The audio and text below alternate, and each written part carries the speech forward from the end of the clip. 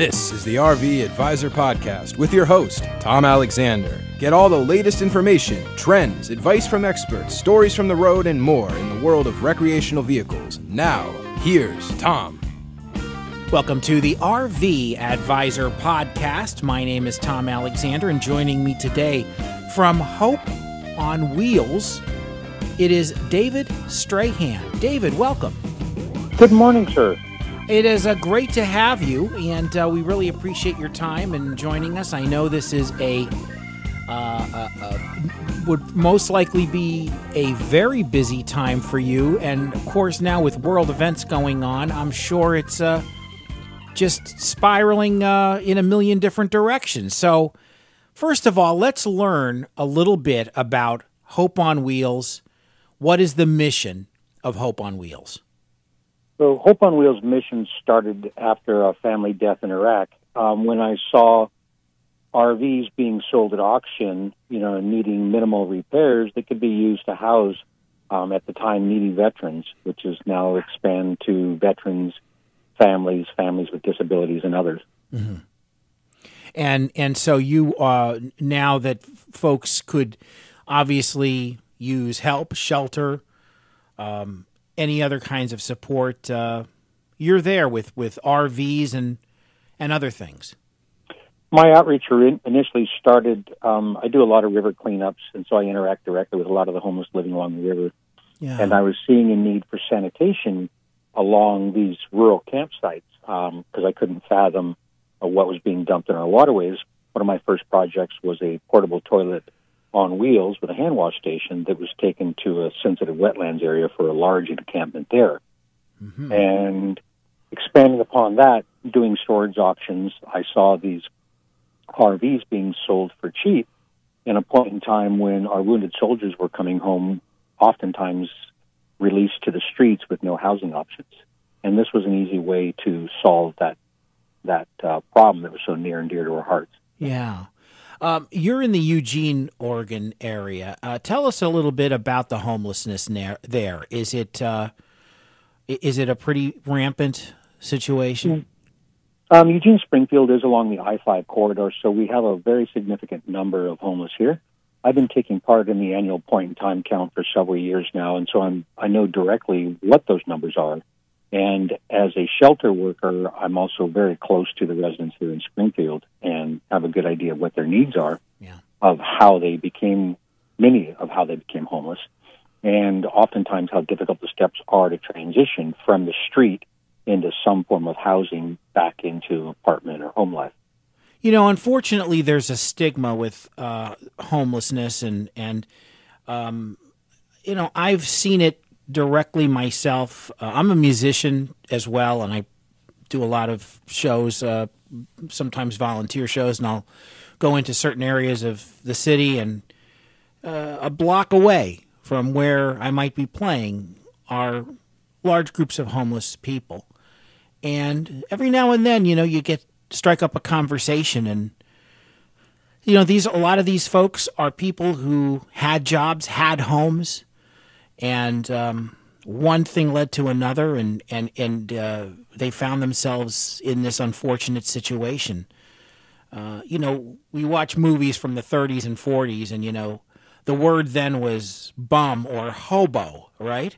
And yes. and and it was it was uh, almost presented in a in in a comical way. It's the last thing in the world that is is comical. Um, it's it's an entirely different thing, and I think the sense of homelessness. I think people are starting to come around and understand it a little better, but there's a long way to go, isn't there? It is indeed, and, and thankfully so. That tide has slowly started to turn around, where people are realizing that that person they see flying a sign on a corner or asking for help may not necessarily have a drug addiction or may not have uh, mental health issues, but often after a period of time on the year uh, of years on the street, those develop. It's part of a coping mechanism. Yeah. Not not every homeless is a drug addict or needy. In fact, many of the homeless I work with have small part-time jobs, but there's no way for them to save enough living on the street to get back into housing.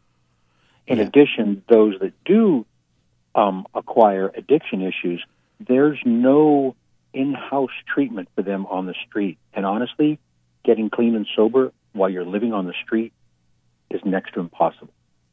I, you know, want to find out a little bit more about what you do, especially in in regards to the RVs and and fixing them up and making them available. So we're going to take a quick break. I'm talking with David Strahan with Hope on Wheels. We'll be back right after these words.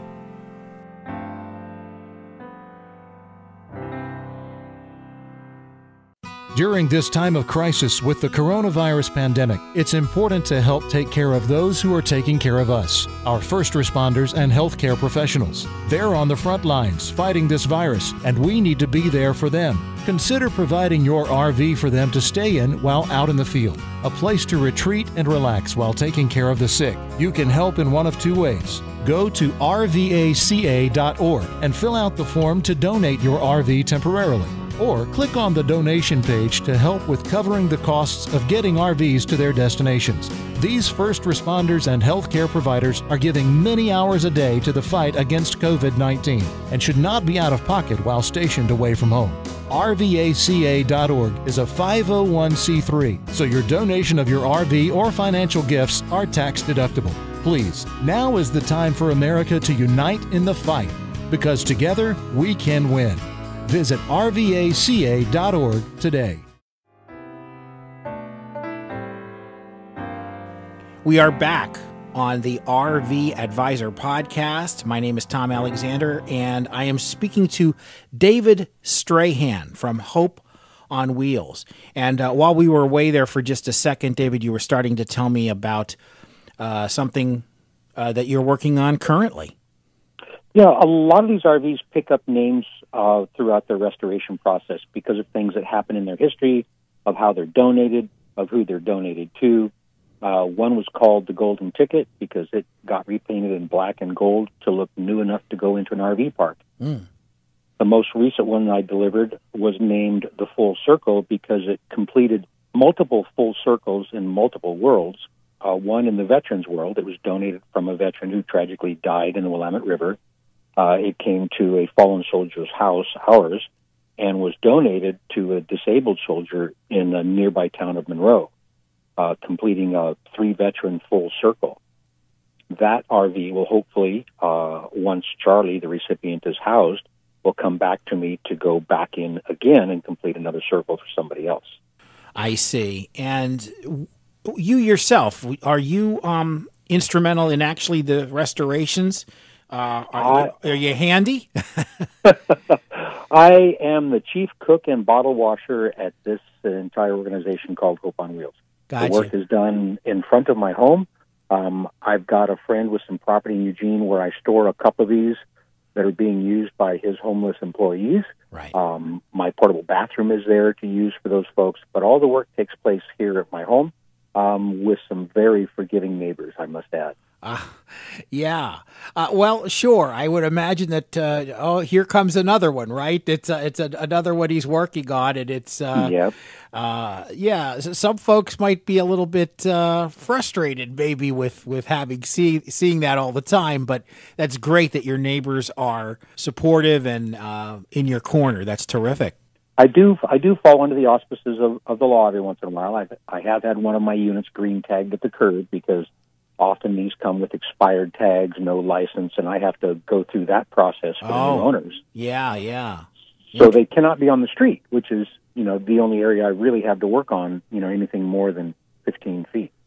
I so uh, I have to be really careful with them, and uh, I take really good care of my neighbors uh, so that they continue to be forgiving of my uh, overlapping onto their property sometimes. Yeah. Um, but I can generally do anywhere from three to five three to eight RVs a year, depending on what condition they come in. Yeah. And I do my own fundraising also.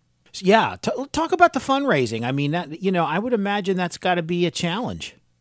I try to keep my units to a thousand dollars and below that I can just give out without any any hope hope of recompense.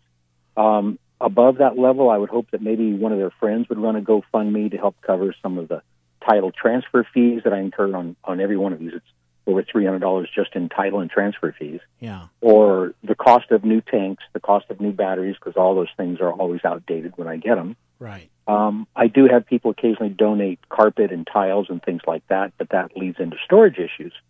So I have some occasional small funders that, that put $100 in my in my nonprofit account once in a while. But also once a year or twice a year, I will buy a completely totaled RV at insurance auction, mm-hmm. um, a higher end RV, mm-hmm. restore it and market it, and use all of that money to buy more RVs. That's my fundraising. Ah, I see. I see. You know, my that... fundraising is my own labor. Right. Oh, okay. Gotcha. Yeah. You know, it's it's interesting you say that about uh, selling those higher end RVs to make enough money to uh, continue to provide the the uh, smaller RVs and the older RVs to to the people who need them. It reminds me of the story about the artistic director in a, in movies who wants to make small art films and tell his own stories, but has to star in multi million dollar films to make the budget because the studios yeah. won't support support his art films. You know, we've heard that story multiple times. And so that's kind of what it sounds like. That's what you're doing in, in another in another sense. Um, Pretty much, I, yeah. I custom build them. Yeah. The last one I did was for Whitebird Medical Team. Yeah. Um, and it was a 2003 with a tip out. So that one was converted into a mobile medical office. Mm-hmm. The whole front room was was covered in durable, washable materials, um, high high uh, waste coating, solid floors. Right. And that is a that's a mobile medical uh, office that's going to be taken to remote sites to help with homeless outreach. I see. We're speaking with David Strahan. He's from Hope on Wheels, based uh, near Eugene, Oregon, providing shelter uh, with RVs to homeless people and, and people in need. David, with the COVID 19, the coronavirus world crisis going on right now, seems no place on the globe is un, you know not untouched. It's it's it's unbelievable. Um, you know, what have you seen in, in, during this stretch, during this time, and and and the uh, the need, perhaps the increased need for for what you do? Can you share a little bit about that? Certainly, we're we're living in a Stephen King era of, of pandemic that people are pretty afraid of, and there's a lot of false information. Yeah. A lot of the people that I work with, I, I work specifically with over 100 guests in Springfield we know their medical needs. We know what what condition their health is in. And we also know that sometimes putting these people into large shelters isn't the best option for some of it. For those people, individual shelter in place RVs, particularly the smaller bumper pulls, are critical to their life success, really. Yeah. Um, I've been asked to provide 50 units by a Lane person working with Lane County here. There's, there's no way I can come up with 50 units and those were directly geared for homeless and those who have the need to isolate. Mm. Um, without it, we could easily see a pandemic within some of these small homeless communities because they have no no health services. Right. Yeah. By providing several of these small units in isolated uh, campsites, we're able to keep those people isolated, keep them in their own semi form of of, uh, of housing but that also takes resources and backup. That takes people delivering clean water to them, hauling out their sewage, bringing propane tanks, uh, providing power somehow. So there's there's some resources that need to happen along with those encampments. And up until this epidemic, city governments have been hesitant to support these campsites. I think our local governments are starting to realize that these small encampments may be critical to isolating this virus within the homeless population. And hopefully our, our government will see forward on that and support some of these things. Right now, they expect the citizen volunteers to go spend their money to, to help solve these problems with a potential promise of 75% payback. Yeah. What needs to happen is this money needs to be upfront.